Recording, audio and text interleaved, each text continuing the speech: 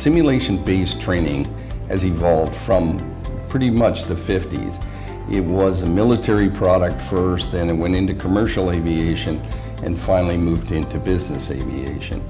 Al Ueltschi founded Flight Safety in the early 50s. And what he learned from the very successful business model is that you can leverage training, you can leverage a program uh, based on simulation technology, and you can replicate that program in any center anywhere in the world.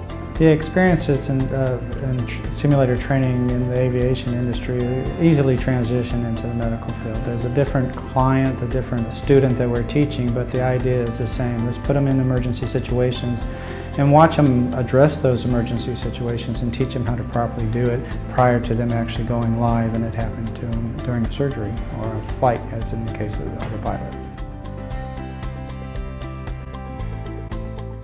What we want to do is to spend our time creating an individual who, in a course of a year, will be able to do 1,500 or 2,000 surgeries. We're not training ophthalmologists. We're training a specialist to do one procedure and do one procedure really, really, really well. I think with the, the program that, that we're building, uh, HelpMeSee in this product will literally save millions of people's sight. I think that simulation training is the future for the medical industry. I believe that it's going to have a huge impact. This has never been built before. Nobody's even attempted to build anything like this. And when we pull it off, this could be terrific for blind people, but also terrific for medicine.